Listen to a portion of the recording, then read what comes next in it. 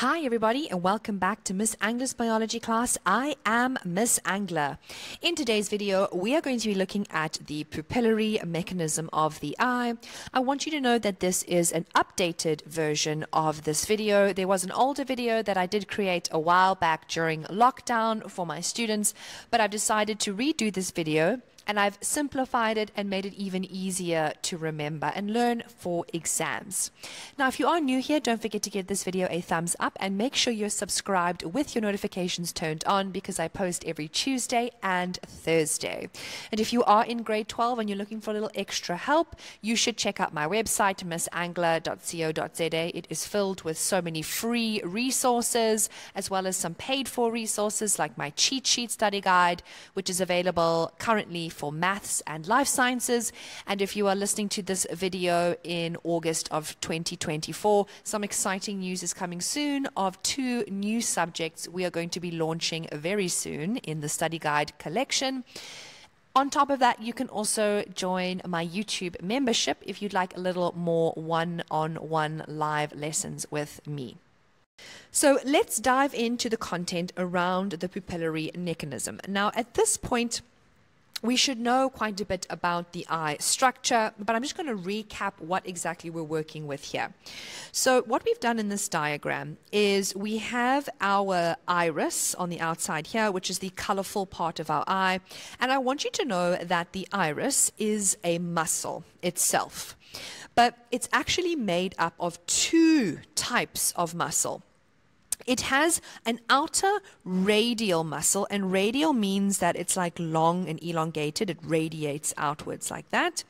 And then it has an inner circular muscle, which sits around the pupil, and as the name suggests, it is circular. And it is these two muscles that move and change the size of the pupil. Now, why do we have the pupillary mechanism? We have the pupillary mechanism because we want to either change the pupil from small to big or the opposite way around from big to small because we want to limit or we want to increase the amount of light entering the eye. Because if too much light enters the eye, the image is blindingly bright and it's very difficult to see. I'm sure you've had that when you go from a dark room moving into a bright space. It's really bright and difficult to see.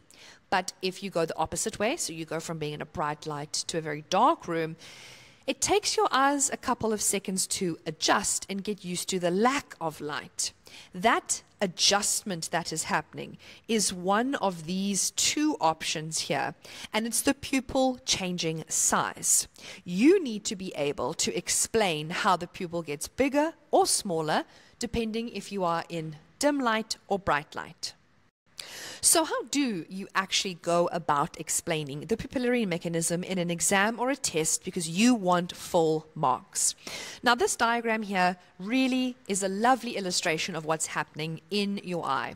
We start off with a normal light situation, and you will notice that the pupil is a medium size and both of the circular and radial muscles are not at play just yet. They're keeping your eye or your, your iris at a rest stage. If you move into dim light, and what is dim light? That means darkness, like you're going into a dark room. The first thing that's going to happen is the radial muscles, which remember, those are the muscles that radiate outwards. They are going to contract. And so if we can't remember where they were, remember these are the radial muscles. They go outwards. The next thing that happens is if the radial muscles are contracting, then the circular muscles they can't contract at the same time, so they relax. And if we've forgotten where those are, remember these are the circular muscles that circle around the pupil. The next step is the pupil dilates. And what that means is it gets bigger. So we're going from a small pupil to a bigger pupil. And the final point we want to put here is more light enters the eye. And that's how you get four out of four. Generally, this question won't be more than uh, the more than four unless they've married this question with another topic. Now, what happens if you have to explain strong light? And what that means is you're going into bright light. Well, you'll notice in the diagrams the pupils have dramatically changed size here. One is going from really big and then the other is going really small. Now you just have to make a very small change. You see, when you're going into bright light, instead of the radial muscles contracting, they actually relax, which remember are these radial muscles. And the circular muscles, on the other hand, they now contract. You see, they do the opposite of what they originally did in our first explanation. Instead of the pupil dilating, the pupil is going to reduce. And lastly, it's not more light enters, it's actually less light enters the eye. And so what I tell my matrics is very simple. If you learn the one explanation, like let's say you just learn the dim light explanation, this one here, the first one we did, the strong light or the bright light is just the opposite. So the opposite of contract, relax. The opposite of more, less. And so you can save time studying by simply learning the one and knowing it's the opposite for the other process. It's just important to not confuse your muscles with each other. So you need to know who is who. And it's important to know what triggers this response. Is it bright light or is it uh, dim light? A lovely overlap question for this would come into play when we're doing reflex because the pupillary mechanism is a reflex. And a lovely overlap exam question would be if you were asked about reflexes and the pupillary mechanism at the same time. And they can definitely do this. For example, they might say something like if a bright torch is shone in your eyes, explain the pupillary mechanism and the reflex arc that occurs in the spinal column or the spinal cord to enable this to happen. So now you've got two bodies of knowledge you need to work with one, the reflex arc, and the other, the pupillary mechanism. Now, as always, I like to wrap up these lessons with a very quick terminology recap. These are the four main words we need to take away from here.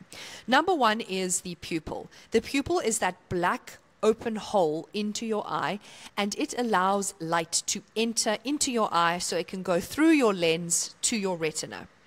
In order to change the size of the pupil, you are going to use your iris muscle, the colorful part of your eye, and it is going to contract or relax, allowing more or less light in. Now, to do the contracting and relaxing, we have the circular muscles and we have the radial muscles. Each of these muscles are positioned in a different place in order to facilitate the change in the pupil. Now, what I like to think of is if these circular muscles, the round muscles of the eye, are doing the work, then we are contracting them. We are therefore making the pupil smaller. Whereas if we're using the radial muscles, which are those long elongated muscles, then we are making the pupil bigger.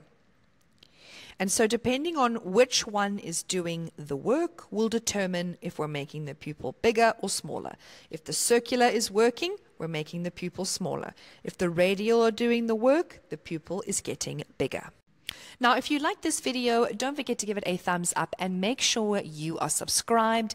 If there's any questions that you have, please leave them down below in the comments section. And you can also leave future topics that you want me to make videos on that might be missing from the playlist.